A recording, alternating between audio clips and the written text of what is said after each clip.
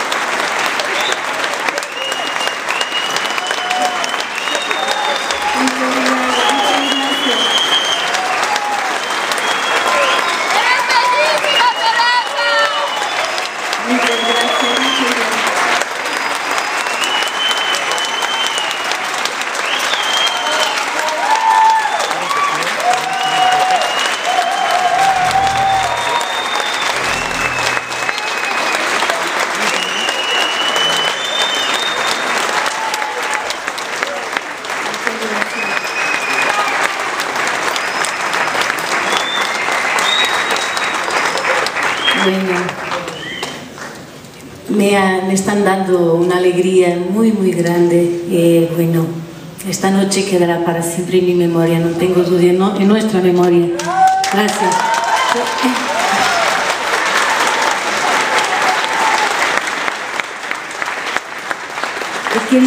Quería, también compartir con vosotros algo que es muy especial para nosotros aquí. Este disco que grabamos, estas músicas que escucharon, han sido grabadas en un lugar muy especial. Nosotros no queríamos grabar en la atmósfera fría de un estudio y buscamos un lugar donde podríamos estar aislados, ¿no? en retiro del mundo cotidiano, solamente dedicados a la, a la música, al aprimoramento de, de los arreglos, a la grabación.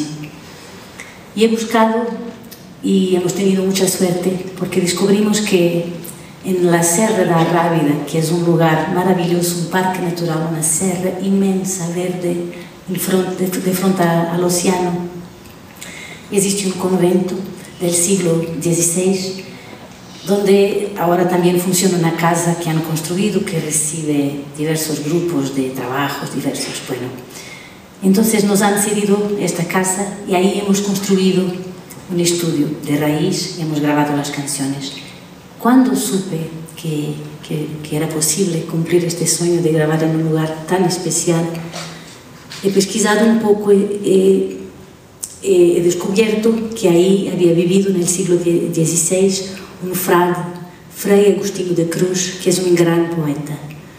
Entonces, nosotros hemos decidido musicar los primeros trechos de un bellísimo poema que se llama Elogia 2, dedicada precisamente a este lugar maravilloso de la naturaleza, la Serra da Rábida.